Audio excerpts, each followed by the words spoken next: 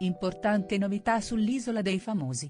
A comunicarla è stata direttamente Vladimir Luxuria, infatti i telespettatori si troveranno di fronte ad un cambiamento improvviso ed inaspettato. Subito si è cercato di fare chiarezza sulle motivazioni di questa variazione e ci ha pensato il sito Novella 2000 ad arrivare ad una conclusione, che per ora sembra la più plausibile.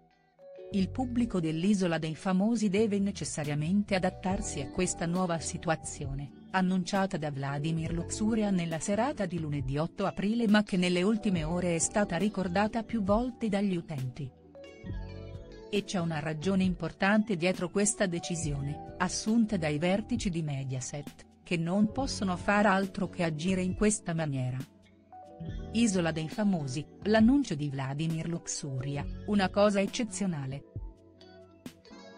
Quando durante l'appuntamento dell'Isola dei Famosi Vladimir Luxuria è arrivata a comunicare l'apertura del televoto, per decretare chi rimarrà in Honduras e chi invece dovrà abbandonare il programma la prossima volta, ecco che è stata rivelata una novità. Una scelta inattesa, che però diventa obbligata per evitare delle sovrapposizioni negative. Questo l'annuncio di Luxuria in diretta, apro ufficialmente il televoto.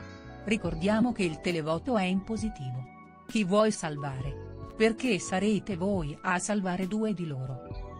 Vi ricordo che il televoto si chiude giovedì alle ore 15 e che, giovedì sera, comunicheremo i due che avete salvato. In tanti si sono chiesti perché chiuda il pomeriggio e non nel corso della puntata serale.